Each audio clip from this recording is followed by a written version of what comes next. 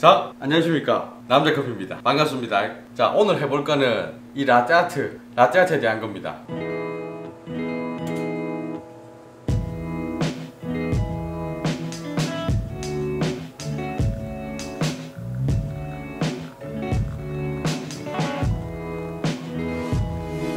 아, 제가 예전 영상에서도 이거 높이, 낙차를 이용해서 라떼아트 그림을 좀 쉽게 그리는 방법을 한번 알려드린 적이 있는데요. 굉장히 많은 분들이 댓글이나 또는 카카오톡으로 연락이 와가지고 그림이 안 뜬다, 그림이 작게 뜹니다, 어떻게 해야 되는지 모르겠어요.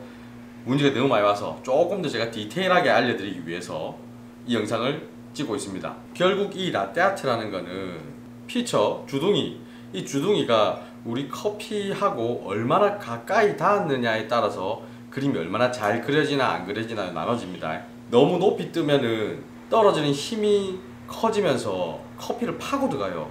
그러니까 그림이 작아지거나 흐릿해지겁니다. 그래서 우리가 잔을 기울여 가지고 이 커피를 조금 더 끌어올리는 거죠. 이만큼씩. 그러면은 자연스럽게 피처 주둥이가 커피랑 더 가까워집니다. 그러면 그리기가 훨씬 더 좋아져요. 낙차가 거의 없어지기 때문에 그 낙차를 줄여서 떨어지는 힘을 작게 해야 커피 위에 그림이 얹혀요. 이렇게. 이 개념을 잘 이해하셔야 됩니다. 이걸 응용하시면은 어떤 그림이든 쉽게 그릴 수 있어요. 자, 그래서 오늘 좀 보여드릴 거는 처음 연습하시는 분들이 굉장히 조금 어려워하는 플라워 팟이라는 그림이 있습니다. 이렇게 밀어넣기를 뭐 두 개, 세 개 정도 한 다음에 옆에 날개를 다는 이런 느낌인데요. 옆쪽에 이제 그림을 그려야 되니까 이 낙차의 개념 잘 이해하지 못하시는 분들은 이 그림이 계속 흐릿하게 뜨거나 작게 떠요. 그래서 요거를 제가 한번 보여드리도록 하겠습니다.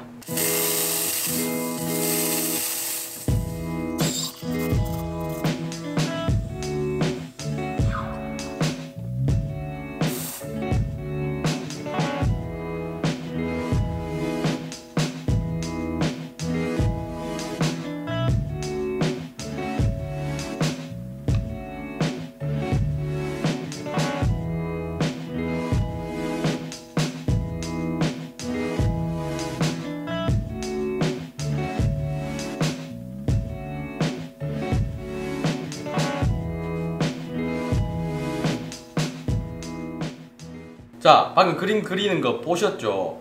피처의 높이를 커피에 좀 더 가까이 다가가기 위해서 계속 내가 붓는 방향으로 잔을 기울이죠. 요걸 잘 기억하셔야 됩니다.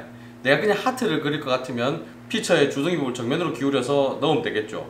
근데 요런 거 같이 플라워팟 옆쪽으로 그려줄 것 같으면 이쪽으로 이쪽으로 기울여줘야 되는 겁니다. 자, 이 보시면 처음에 이 하트 두 개를 그릴 때는 이쪽으로 기울여서 가깝게 만들어 줬죠. 근데 이 상태에서 이 옆에 하는 경우가 많거든요. 이러면 그림 잘 안 그려집니다. 요때는 요렇게 기울여서 이렇게 들어가는 거죠. 마찬가지로 이쪽 그림을 그릴 때는 요런 식으로 기울여서 요렇게 들어가야 됩니다. 요렇게 낙차 조절 그러니까 피처의 높이 조절만 잘 해주시면 어떤 잔에든 그림을 그릴 수 있어요.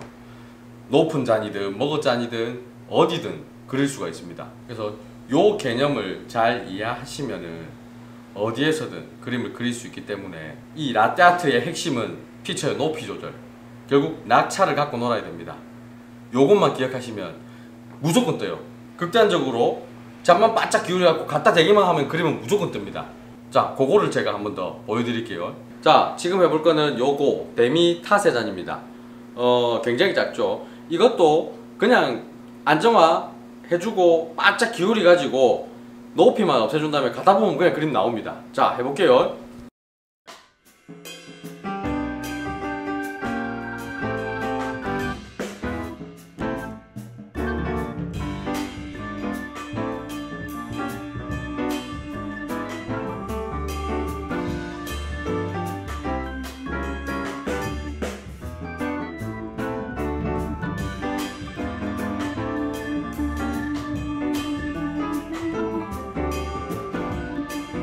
자, 잘 보셨을 겁니다. 그냥 낙차, 이 높이만 조절해서 딱 대고 그냥 붓기만 하면은 그림은 무조건 떠요. 그리고 라떼아트의 실패 확률도 현저히 줄일 수 있을 겁니다.